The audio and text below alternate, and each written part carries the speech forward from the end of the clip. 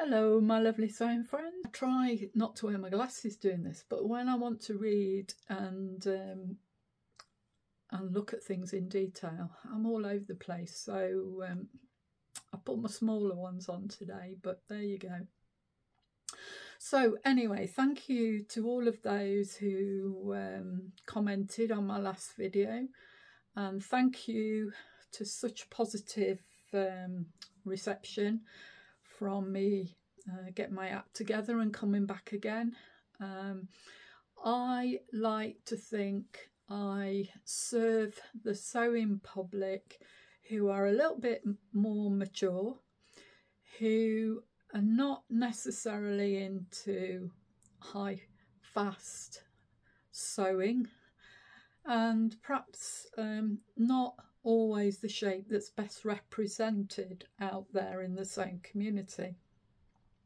Many, many of the people who follow me have, like me, been sewing for many, many years and are so pleased of this resurgence in all things handmade. Um, but I I do feel this sometimes when I scroll through Instagram and I look at Facebook and then I go online and I just ask myself the question, where am I? What's my uh, what's my tribe, if you like? Is um, say is the same, and it seems that I've hit upon my tribe, and I'm really really grateful for that, and I'm grateful for the women who follow me, and who um, hopefully will continue to do so.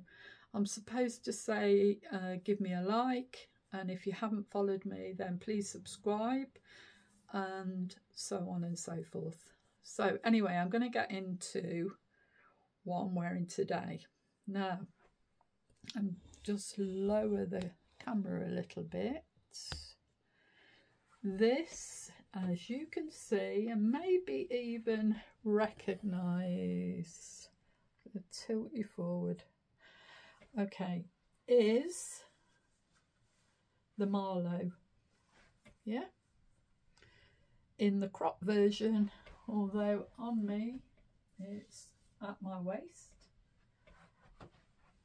Now then, some of you may have heard me say the Marlo's not for me. I made it once, it was huge and I couldn't face doing anything with it. However, I had a change of heart and um, got the pattern out again. Change of heart mainly because I saw this absolutely gorgeous knit on Lamazi and matching ribbon. So I thought that is perfect for um, a project like this because the thing with the Marlo is yes you can make it in sweatshirting you can make it in um, any type of knit but I've just felt that this was made for this purpose. So any of you haven't seen it there we are the Marlo cardigan and it is made by True Bias.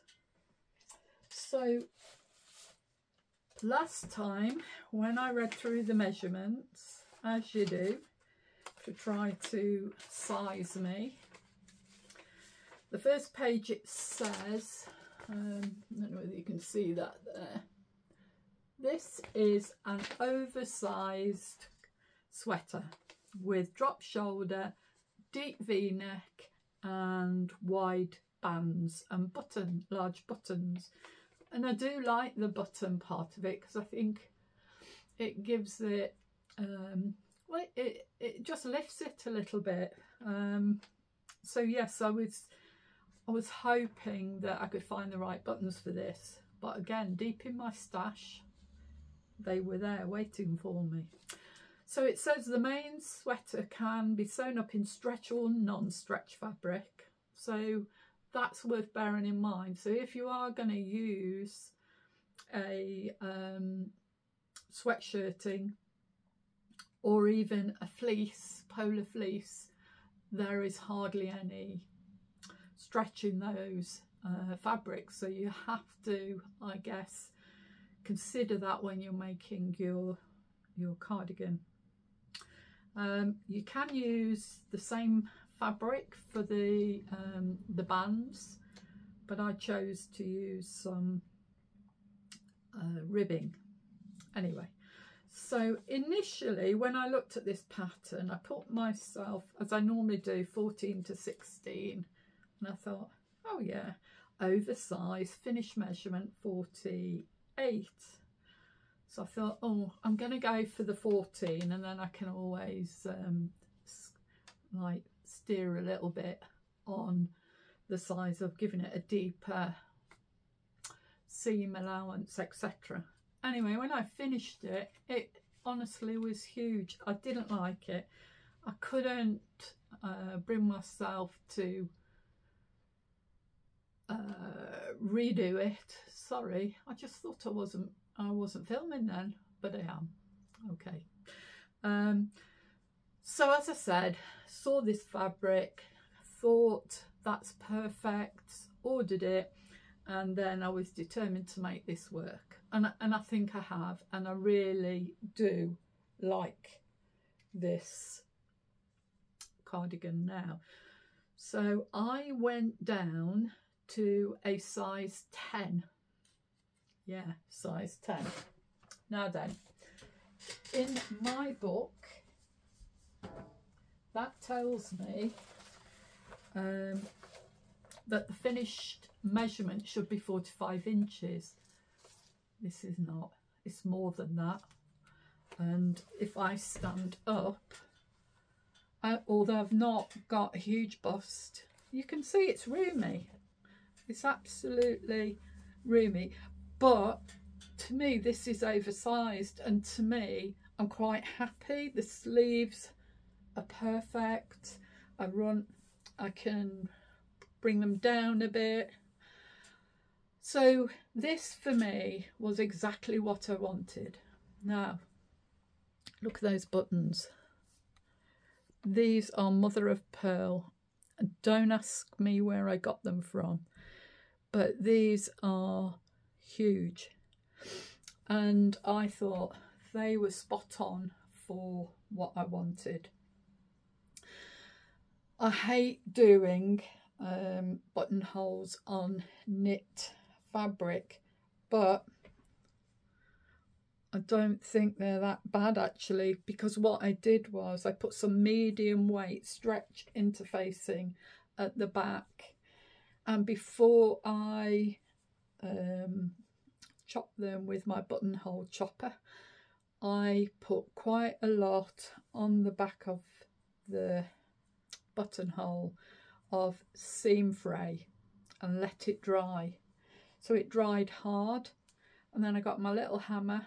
Wait a minute, I'll show you my hammer.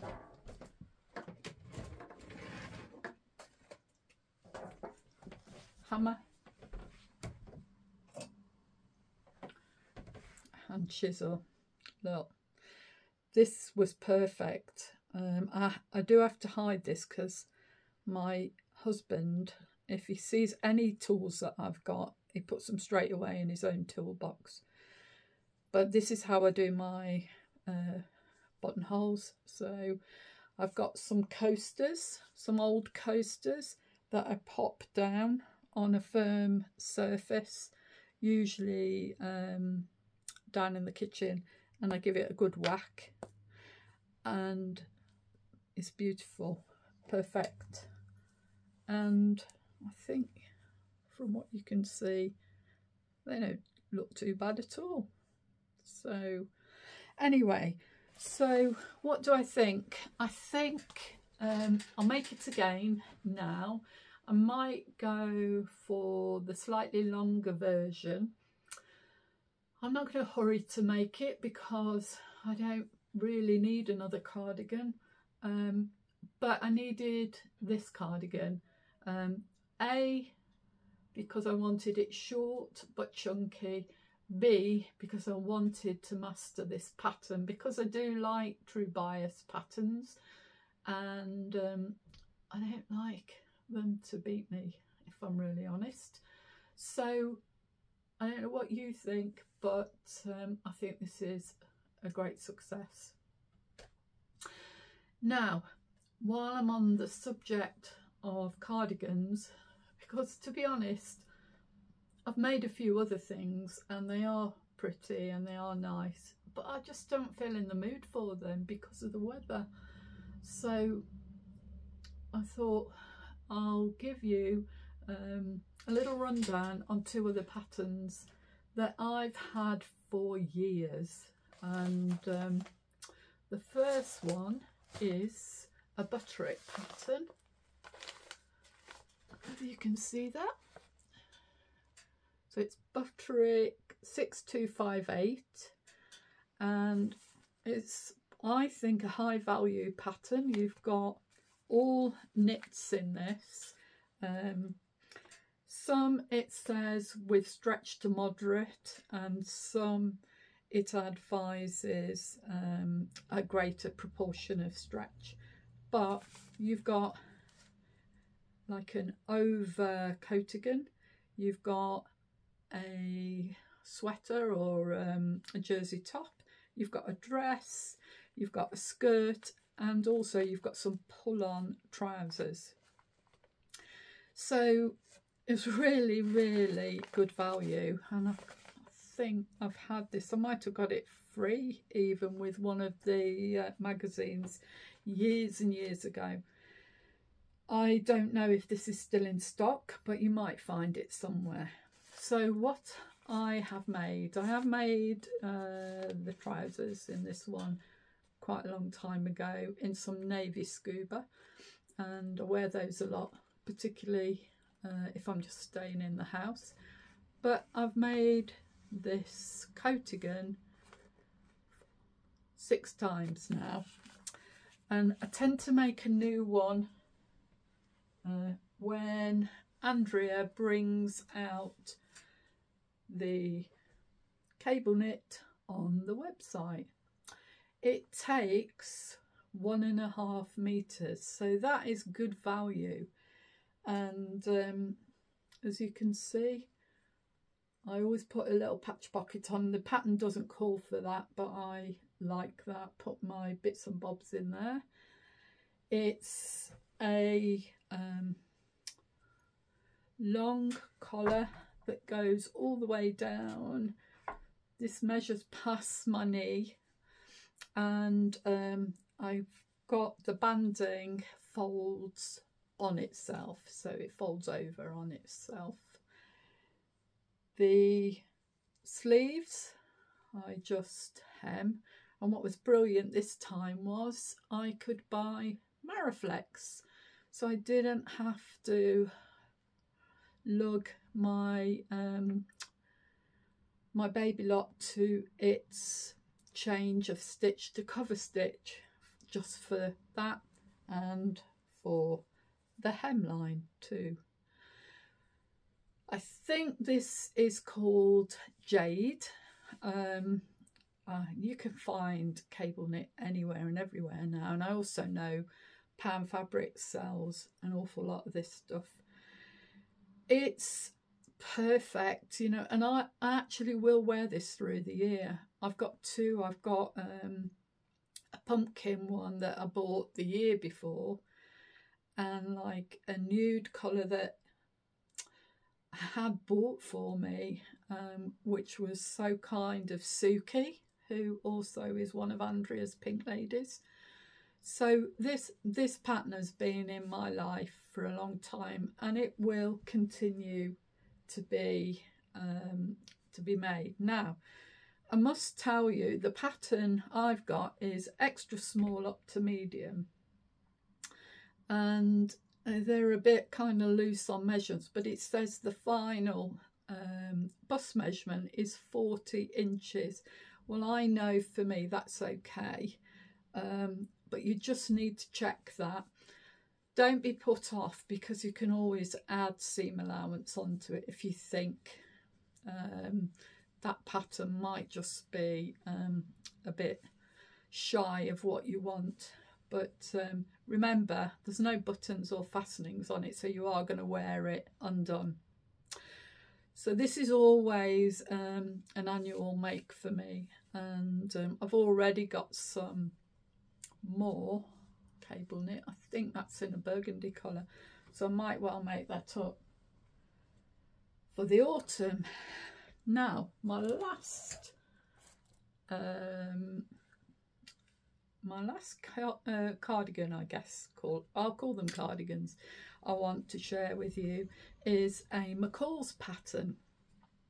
Now in January, um, Emma, who runs the Fabric Boutique in Ashby, sorry, I'm sit down a minute, my knees hurting, um, who has that lovely shop at Ashby in the high street called the Fabric Boutique. She was having a first birthday event. And I know a lot of you um, who are on YouTube saw other people that went there, but sadly that happened to coincide with my husband being in hospital, so I couldn't go. But I had made an outfit for it, I'd made a dress, but I'd, I made this cardigan to go with it. Um, so I'm going to show you the pattern first. So this is McCall's. Again, another multi-pack pattern. And it's McCall's 7331. And I've had this pattern even longer than the other pattern. And uh, it's a Nancy Zieman. Um, and she does some good and I think uh, wearable patterns. This has, again, four garments, all knit, and it does advise um, different types of knit fabric for which garment you're making. Um, I measured myself up against the size 16. Sadly, McCall's, as you know, a lot of the patterns, there's no finished measurements on the outside of the pattern and you have to go inside, cut the part out that you're you're going to sew and then yeah anyway um so I know that I actually did cut a size 16 but I just narrowed um narrowed the shoulders because I, I've got a narrow shoulder and a hollow neck upper upper chest. So you've got a swing cardigan. This is um and I'll try this one on because you'll see. A sweater a pull-on skirt which is really nice and the, the nice thing about the skirt and the trousers they've got a deep waistband. So they're, um, they're particularly nice to wear I think particularly if you've got a bit of a tummy and you want some uh, support. So I can re recommend that. And I've made the skirt and the sweater and this swing cardigan. The first time I made the cardigan, which as I said was for this party event. So let me just slip it on and show you. I bought all the fabric from Fabric Boutique because I wanted to have something that reflected Emma's choice of fabrics. Very simple pattern again, but as you can see, I'm going to pull you down.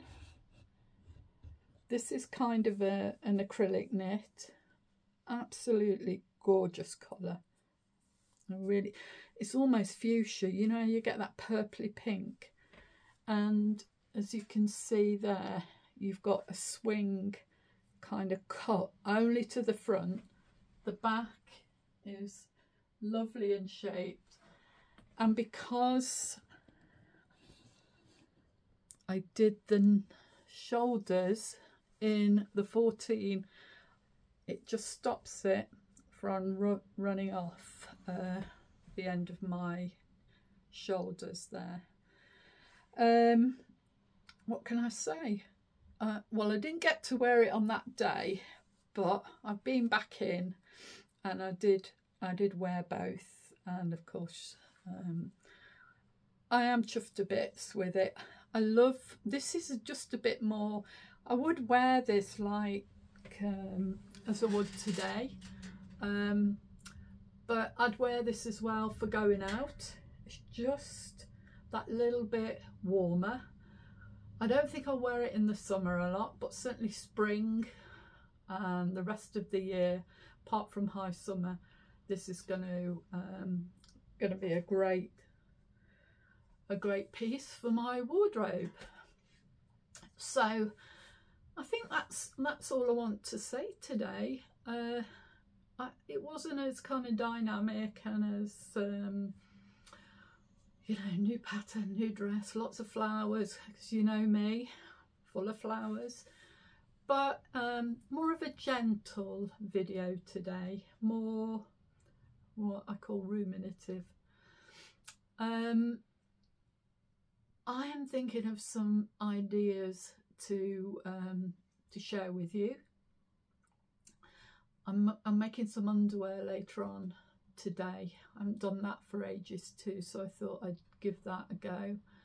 Um, I've got the Nephiline top almost ready to start stitching and I've just made some very basic things that I think are useful for for me and those are the things I wanted to get out of the way. So I'm going to say uh, goodbye to you. I'm going to ask you to be kind, not just to everyone else, but to yourself. And please, please like if this is something that you want to see again. And um, to all my lovely sewing friends out there, I'll be back soon. God bless.